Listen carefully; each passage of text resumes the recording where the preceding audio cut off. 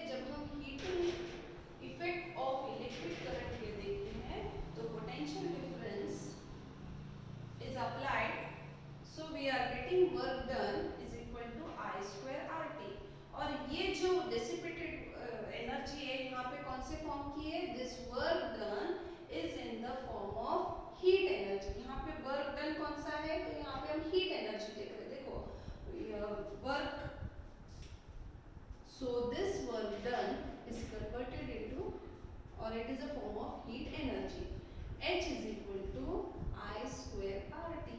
This is, this will give you amount of heat energy. So H is what? Amount of heat energy. Amount of heat energy. Okay. And we already know I is current, R is resistance, T is time. Okay. So amount of heat energy is totally depending on current distance and time ठीक है? अगर current ज़्यादा दे रहे हैं तो भी हमें heating effect ज़्यादा मिलेगा means amount of heat will get more if you are increasing the resistance then we get more heat and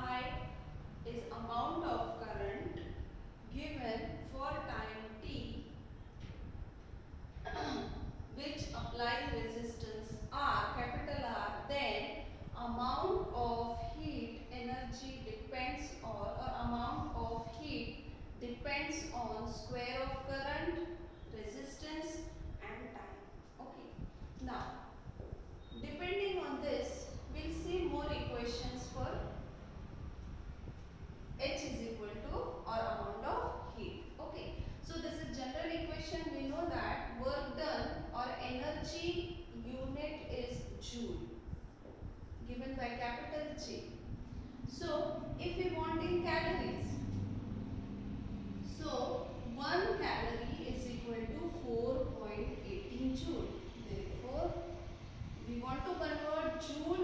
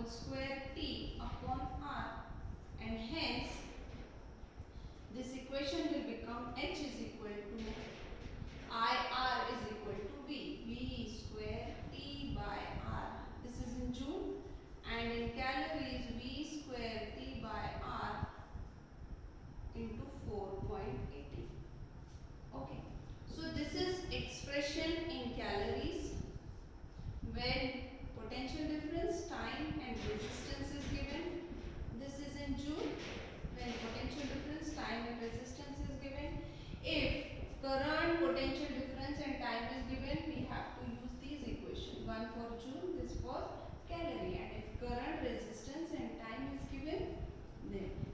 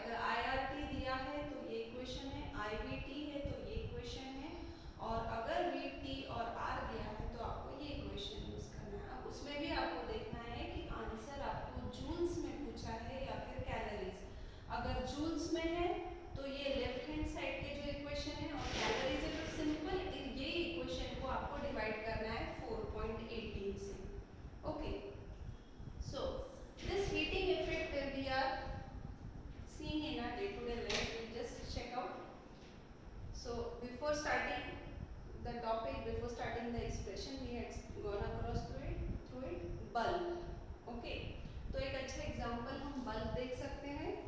तो जो फिलामेंट बल्ब रहता है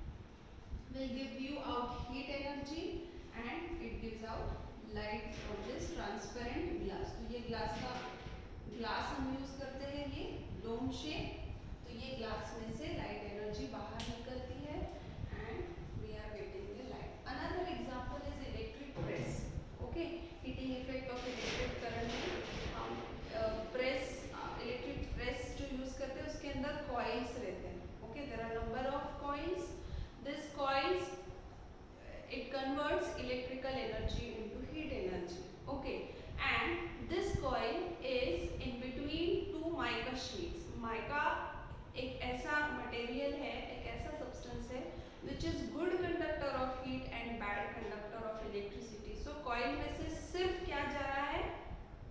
हीट इलेक्ट्रिसिटी नहीं जा रही है। तो उसके वजह से हमें इलेक्ट्रिक शॉक नहीं लगता है, क्योंकि ये जो प्रेस है, उसके नीचे स्टील प्लेट रहती है। ठीक है? तो माइका शीट का काम क्या है? It takes out heat energy from the coil that heat energy is given to the metal sheet जो हम electric hello childrens so electricity class 10 cbsc 6 of subject science so this is very last topic we are going to study which is again very important and actually this is the part we are using commercially ठीक है अभी तक हमने chapter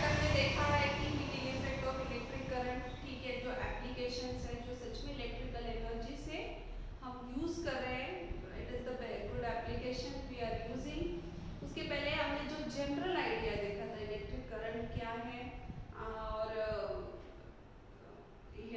ये कैसे resistor in series resistor in parallel अलग अलग components कैसे सर्किट डायग्राम कैसे ड्रॉ करना चाहिए तो ये सब हमें हमने अभी तक पहले इसके पहले पाँच लेक्चर्स में देखे हैं अभी जो हम डे टू डे लाइफ में यूज़ करते हैं हम जो कमर्शियली देखते हैं इलेक्ट्रिक पावर वो पढ़ने वाले हैं ठीक है तो इलेक्ट्रिक पावर यानी क्या the rate at which electrical energy is dissipated into other form of energy is called electric power मैं इसको सिंपल करके बताती हूँ आपको इलेक्ट्रिक पावर तो जनरल पावर यानी क्या work done rate of work done ठीक है अब वर्क डन यहाँ पे कौन से फॉर्म में हो रहा है इलेक्ट्रिकल एनर्जी तो अलग अलग फॉर्म है हीट एनर्जी देखा हमने इलेक्ट्रिकल एनर्जी हो रहा है ठीक है तो ये जो पावर है ये कौन सा पावर है ये इलेक्ट्रिक पावर है तो जो हम हमारे घर में मीटर बोर्ड लगाते हैं तो वहाँ पे एक वैल्यू आती है जिससे जिसके साथ यूनिट में किलोवाट आवर में आपने देखी होंगी मीटर बोर्ड पे ब्लिंक होती है वो थोड़े थोड़े बार टाइम आता है डेट आती है एंड ब्लिंक होके किलोवाट आवर इतनी किलोवाट आवर आपके इसमें पावर यूज़ हो रही है। तो ये जो इलेक्ट्रिक पावर है, इसकी डेफिनेशन सेम पावर की जैसे पावर की डेफिनेशन क्या है? The rate of work done rate of work done means work done upon time अब यहाँ पे क्या है? The rate at which electrical energy is dissipated into other forms of energy is known as electrical power तो ये जो electrical energy हमारे घर में आ रही है, वो अलग अलग फॉर्म में हमारे घर में डिस्ट्रीब्यूट हो। कहीं पे भी डिस्ट्रीब्यूट हो रही है सो दैट उसका रेट हम देखने वाले हैं ओके तो rate means what per time okay so generally we know that power is rate of work done work done power is equal to work done upon time rate of work done means work done upon time work upon time अभी यहाँ पे ये जो work done है it is in the form of electrical energy यहाँ पे कौन सा है इलेक्ट्रिकल एनर्जी तो इलेक्ट्रिकल एनर्जी डिसिपेट हो रही है okay into other forms of energy so this work done can be written as by using formula potential difference potential difference is equal to work done upon charge transferred okay So work done is equal to this will potential difference into charge transferred Q. Uh, by using formula I is equal to Q upon T that is current is rate of charge. Okay, so current is equal to charge per unit time. Okay, so Q is equal to division will change to multiplication when this T will go on another side of the equation. तो ये क्या हो जाएगा Q is equal to IT. Now let us substitute it here. W is equal to V I T. Okay. So here work done is what? Work done is in the form of electrical energy. Now let us see again this power. अभी power is equal to to V I T upon time. Time get cancel. Power is equal to V into I. Okay, so electric power is potential difference applied and how much amount it is giving. Okay, so V into I. So this gives you exactly power.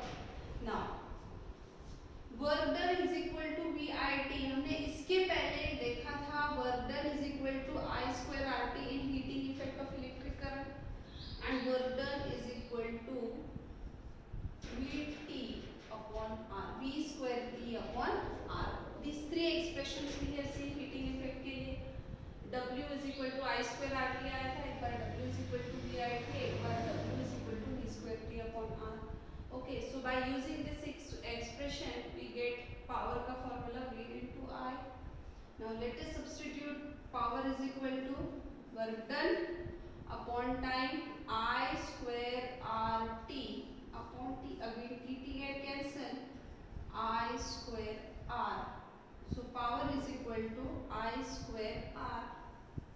So power is equal to potential difference into current. Power is equal to current square into resistance and by using now the power is equal to work done upon time. Work done यहाँ पे क्या है V square T upon R into T. T T get cancel. Power is equal to V square upon R. So depending आपको क्या दिया है अगर potential difference और करंट दिया है तो पावर का ये फॉर्मूला है इलेक्ट्रिक पावर का अगर आई स्क्वायर और रेजिस्टेंस दिया है तो ये फॉर्मूला यूज़ करना है और P इज़ इक्वल है तो V स्क्वायर अपॉन R अभी पावर का ऐसा यूनिट आपको मालूम है जनरल पावर हम यूज़ करते हैं वैट में W capital W okay and done when done is in the form of joule done is uh, done कौन सी यूनिट में है joule में है at this time is in second okay so one watt is equal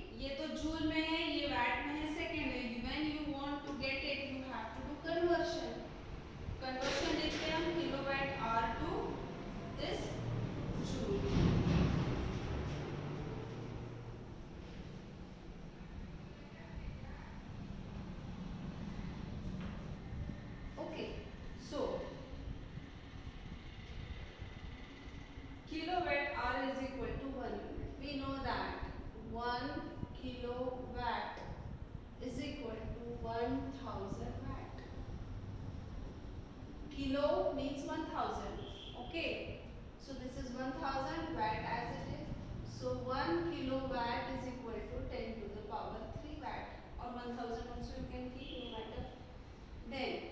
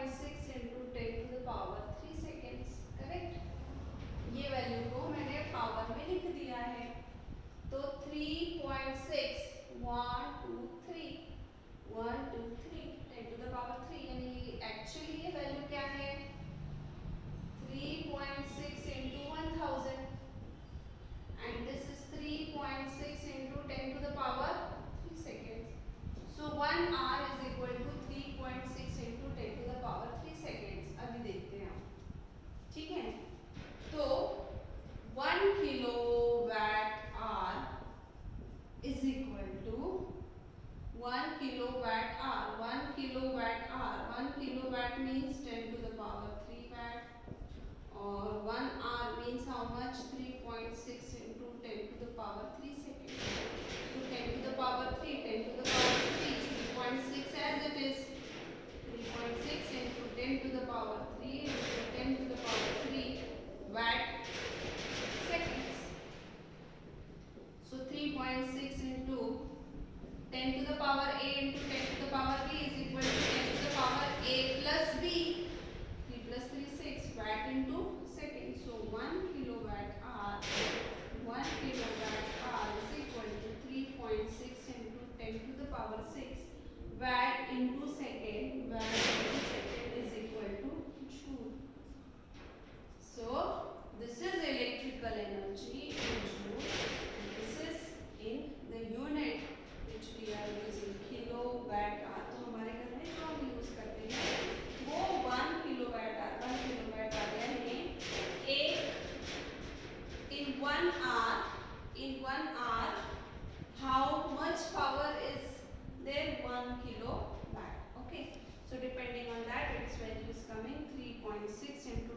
power six joules अगर आपको इसमें values दिए और फाइनल आंसर जूल में पूछा है तो यू कैन कन्वर्टेड बाय जो वैल्यू आई है उसके साथ इसको मल्टीप्लाई करना मैं will see the numericals of the whole chapter solve certain numericals. So these numericals based on this is practically based. जो हम use कर रहे हैं वो ये topic है electric power. Okay.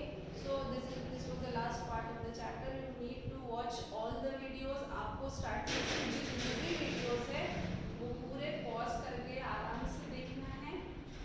जिसके वजह से अगर आपको कुछ भी समझ में नहीं आए तो आप बार बार वीडियो देखो, आराम से देखो, क्योंकि ये ऐसे वीडियो पढ़ाते समय we have to continuously speak so there is no break so you can pause again listen if you are not able to understand, and go through all the six videos that EH So in all the six lectures we have taken detailed thing about chapter electricity. This is very very important topic. Okay. Thank you so much.